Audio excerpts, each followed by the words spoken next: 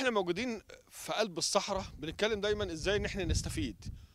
لما نشوف إن إحنا عندنا ثروة حيوانية ونشوف إن بنوفر لها الأعلاف يبقى أنا محتاج إن أنا أستفيد استفادة قصوى. بمعنى إيه؟ بمعنى نقل الأعلاف ودخولها الاماكن داخل الصحراء ده مكلف. وإن أنا لما أزرعها هنا لازم أستفيد من الأرض إن أنا أزود الإنتاج من نفس وحدة المساحة وبنفس كمية الميه اللي أنا بستخدمها. النهارده عشان أزرع برسيم في المكان ده بيواجهني صعوبة. طبعا. بقالك قد إيه بتشتغل هنا في الزراعة بالنسبة للبرسيم؟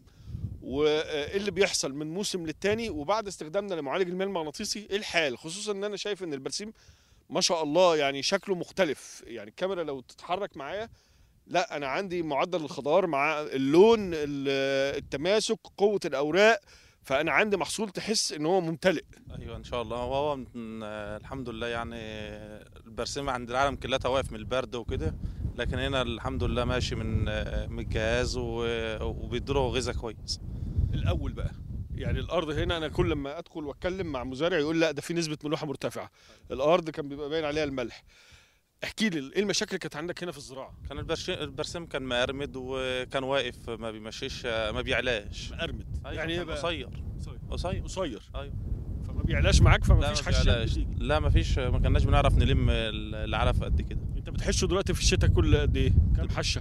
دلوقتي هو ماشي على 35 يوم بالكتير خالص. 35 يوم آه. وتاخد منه حشة؟ آه بخش باخد منه حش وفي الصيف؟ لا في الصيف ال- الإنتاج بتاعه سريع 25 يوم. 25 يوم. يعني إحنا عشان في الشتاء دلوقتي 35 يوم بياخد حشة في الصيف 25 يوم أسرع بياخد منه حشة. يعني أنا هستأذنك أهو يعني إيه الفرق؟ يعني أنا عايز أعرف إيه الفرق دلوقتي ما بين ده وما بين البرسيم اللي كنت بتزرعه قبل استخدام معالج الهلال لا المغناطيسي ما كانش فيه خضار بالطريقة دي. آه. ما كانش بيبقى كان بيبقى لا مؤاخذة العود ناشف. آه.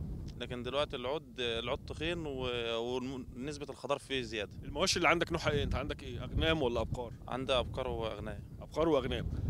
ال- لما بتقدم لهم البرسيم ده في إقبال عليه أكتر معدل التحويل بتاعه أكتر بتحس إن في قيمة غذائية ليه؟ أيوه في طبعا. في في دي حاجة تختلف لا لما بتغير بتغير عن الأول كتير.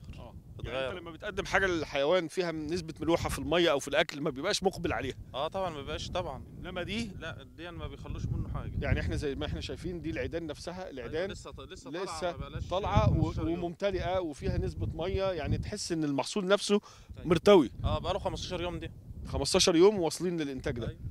المساحة قد إيه اللي انت زارعها برسيم أنا معايا إن شاء الله 8 فئادين و... وأربعة جداد لسه. ربنا يبارك لك. الجهاز جايب معاك نتيجة من أول الأرض زي آخرها؟ كلتها واحد. كلها واحد. كلتها واحد. في مشاكل قابلتك في الجهاز؟ يعني أنت بت... في مصاريف تانية بعد ما ركبته بتحتاج له صيانه لا لا ولا ولا تسميد حتى ما بحطلوش إلا كل كل سنة أحط له بخت كما بتاع سباق بلدي. كل سنة؟ آه. سبخ بلدي هنا. سباق بلدي بس. لكن ما فيش تسميد ولا كلام من دي ما فيش تسميد خالص.